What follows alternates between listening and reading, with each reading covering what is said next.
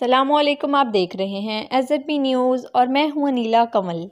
देखते हैं अहमदपुर सियाल से ब्यूरो चीफ से अली की रिपोर्ट। दफ्तर जंग मोहतरमा राशदा याकूब शेख साहब का एम पी ए जंग स्पोर्ट्स कॉम्प्लेक्स गुर्जर रोड में होने वाले Khawar Shah national archery academy के जेर तमाम मुनद हुआ। इसमें तमाम बच्चे और बच्चियों ने भरपूर शिरकत की।